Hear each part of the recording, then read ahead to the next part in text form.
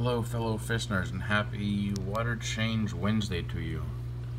I've been planning on making this video for a while now, but I keep on kept on forgetting. So I finally was able to make it today. So, today's video is about my, what I call my quote unquote automatic water change system. And you might be saying to yourself after you watch this video, hey, that was clickbait because it's not really automatic. But from my perspective, it is. So first we see my blonde guppy, uh, my blonde guppy um, tank, which is just running on a sponge filter in the back, and actually it's unheated. Let's see how they did with unheated. Um, trying to keep it down to just what you see that uh, cobra pattern, I guess you would say, of males. I'm trying to keep in here, trying to breed that out. Um, the, with the blonde guppies, there's one right there, nice looking, I guess you'd call it cobra pattern of males.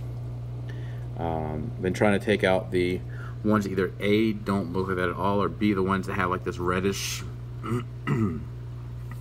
uh, finish to them. I don't really like it as much. I'm trying to selectively breed that. Uh, those I take out just go into my mutt guppy tank and uh, I give those away to students and, and anybody local that wants uh, free guppies. So anyways, uh, there's, a, there's probably a better shot of the male right there in the middle that I like that I, I want to breed for with the blonde guppies. I think it's a lot nicer looking. Um, this Eventually my plan is to turn this tank into a uh, shrimp tank so I'm keeping it unheated and um, it just has the sand as the substrate and some java moss. And then on the top is some I think that's Riccia I think that's what it is. And then lots of duckweed.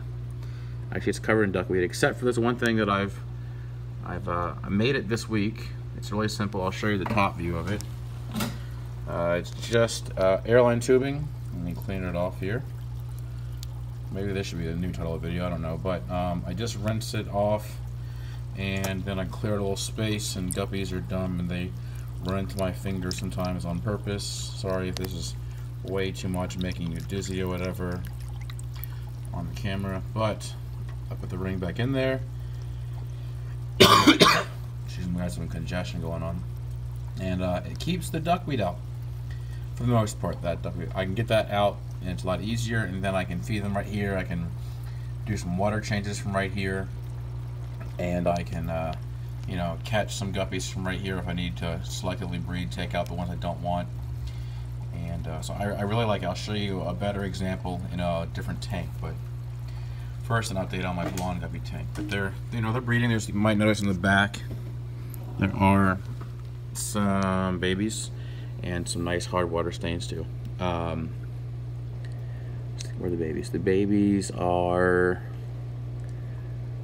usually towards the Java moss. Maybe they're hiding really well in Java moss right now.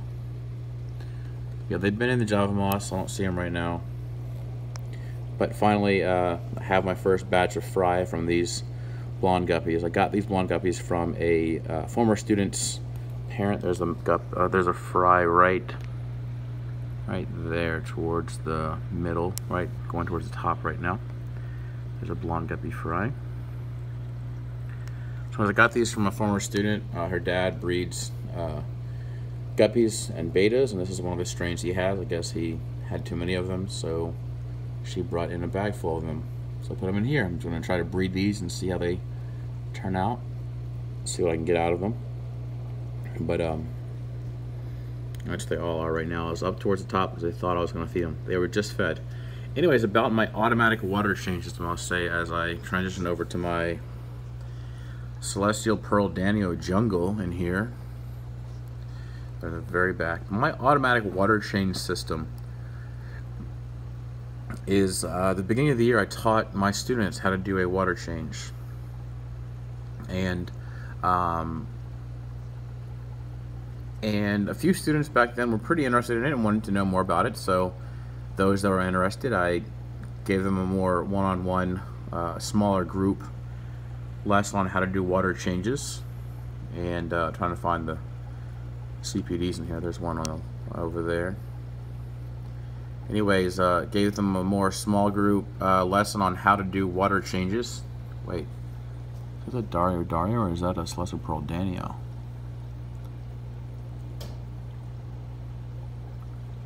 So anyways, uh, taught them how to do water changes and ever since then, a few of them, about two or three of them, have actually asked uh, every week, every Wednesday, they're like, hey, it's Wednesday, can we do water changes? I'm like, absolutely yes. So, in theory, I guess you would say, I got the water change system set up. And then ever since then, it just runs on its own every week. All right, now I'm over to the Panda Guppy tank slash another Panda, another Guppy experiment. There's a male Panda Guppy right there showing off for a female that is already pregnant.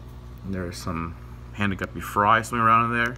I know this water is cloudier, uh, but it's much better than what it used to be. There's some more fry up and over there. I know this isn't the prettiest tank, but I think it's a lot more natural. I like to take care of things uh, Corey's way uh, or a lot, or the ecosystem. You see a lot of fry swimming around here. There's probably close to 10 fry in here right now. I have two or three more at home in a separate tank that when I first had them at home. But the experiment I have going on here is these are higher temperatures, like 82 and just for this batch of babies I'm to keep it at that temperature and see if it has any impact on the number of males. I don't think it will, but I want to see if that does, just so I can finally debunk that that uh, myth as far as my uh, guppy breeding goes. Um, in the blonde guppy tank, it's at room temperature, so it's unheated. And I want to see if that has any impact. And I know that according to science experiment, you know, to have it be a valid experiment, I would have the same strain of guppies and everything else would be the same. But I, I for for my purposes and my uh, my purposes and in my you know experiences and knowledge this is good enough. I have one tank that's heated rather high, one tank, actually my 29 gallon is heated at a moderate level at 74 to 76, and then um, one tank is unheated. So let's see if that has any impact on the number of males. Uh, lots of debate out there. I don't think it will have any impact, but we'll see. After these fry uh, get to a point at which I can tell males from females, I will cut the heater down to a more reasonable level of 74 degrees because I do not want to burn these guppies out. Uh, also, it's really hot. Like, I mean, as far as fish tanks go, it, it's warm water. It's 82. That's like blue, German blue rams or cichlid temperature there. So, just a little experiment I have going on here, and I'm pretty happy because really these fry have been born in the past few weeks, and it's the first batches of fry that have come out, and there's still a few more females in here that are still extremely pregnant. Um, I think, yeah, the one is in the very back. You see her towards the top right. She's very pregnant. She should be popping out babies any day now. I would hope by the end of the week. But um, anyway, so that's my automatic water change system. Is I've taught the students to do it, and they come in. and They ask me every Wednesday during home base, like, "Hey, can we uh, change the water?" I'm like, "Absolutely." And you know, some some weeks um, I had to give them special instructions, like, "Hey, this one." only do a water change slash gravel vac on this side because there's babies over on this side or hey this one watch out for the babies or um, she did like uh, it's not she's actually it was uh, some boys and girls but um, it is nice to see girls get into the hobby too. Um, but this week it was a girl who did the water change and um, she asked what was it she asked? What was it? It was about the babies that were in the way, and then she asked about oh, it was about the the the guppy babies, and that they I said they should be they're big enough to where they usually get out of the way. Also, that's what it was. She was excited about these anti-duckweed rings, which here's the top view of this one. Um, you see there's a little bit less duckweed in there, a lot easier to manage and put some food in there. The guppies can find it easier that the food doesn't just sit on top of the duckweed and literally all it is is a piece of airline uh, with one end cut at an extreme angle so that uh, it more easily inserts into the other end, and uh, it works. It works for a few days. Um, I have it in my larger 29 gallon tank as well, and I really like it. It helps to keep some duckweed off of, you know, nets and hands and food, and just makes it a little bit easier. Uh, and this way I can still the benefits of duckweed as far as absorbing the excess nutrients in the water while uh, still not having it completely take over my arm whenever I dip it in there or a net whenever I dip it in there. So I hope you didn't find this video to be too much of a clickbait because it's technically not automatic water change system but from my perspective it is automatic because I got it set up and you know teach them two or three times show them how to do it and just let them go. And so far the students that are caring for the tanks are they're learning a lot of stuff they're asking lots of great questions. Um, I haven't lost any fish because of it. Um, they don't they're very careful about the babies um, they're very careful with the fish. Uh, they also love to come in and feed them. They feed them uh, first thing in the morning and then they come towards the end of the day and feed them again. They they know how much to feed each one and my feeding practices for for you know the different fish and you know which ones like certain meat. So they're definitely starting to learn uh, a lot of the fish keeping uh, practices and, and, you know really good things, and they're able to learn without making many uh, mistakes from someone like me who has already made lots of mistakes. So that you know when one day if they do decide they want to set up their own tank, they'll be more ahead of someone else that's just completely new to the hobby.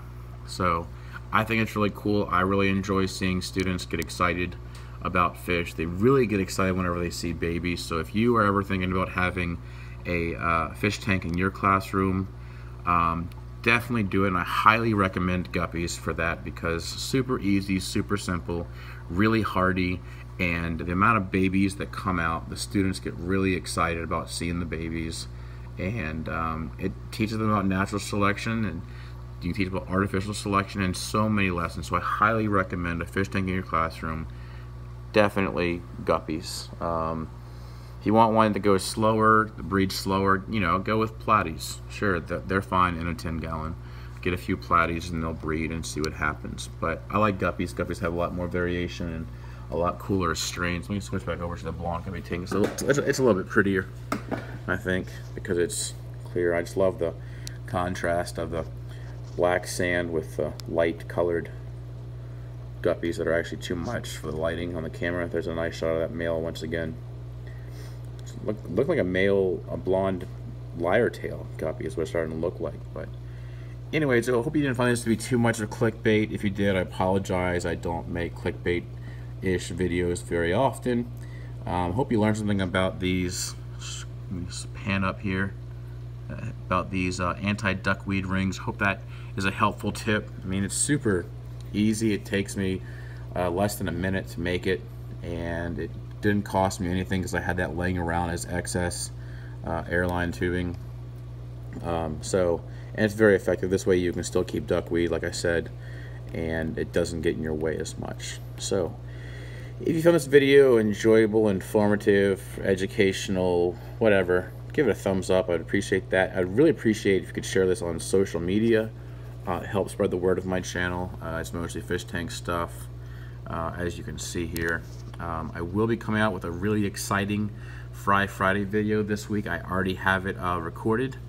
Um, it's some pretty exciting news, and then I already have next Friday's Fry Friday video already recorded as well. Um, also even more excitement to add on to the Fry Friday excitement, though you can never tell by my voice, I know. So if you want to keep in touch and stay tuned with that, be sure to click that notification bell down below. Check out my links down below to my local fish store, Clicknfish. Um, uh, if you're in the local area and uh, you're wanting these blonde guppies, um, they might even eventually be available in Clicknfish, as will the panda guppies maybe. If not, then they will be at my local fish club, uh, James River Aquarium Society. In a few months, I will be I will start bringing them in for the auctions in, in the summertime. Uh, so I hope you uh, definitely turn on the not notification bell. Check out the links below. Um, my channel T-shirt and Amazon affiliate links. And that fish has a thing hanging out of it. What is that? I think it's a piece of feces. Oh, funny story.